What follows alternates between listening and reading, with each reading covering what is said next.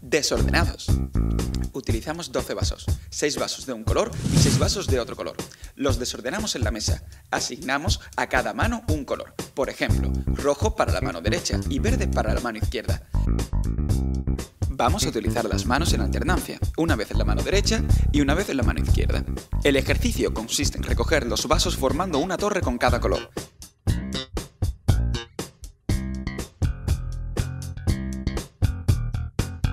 Una variante que aumenta la complejidad del ejercicio es introducir más colores. Speed Stack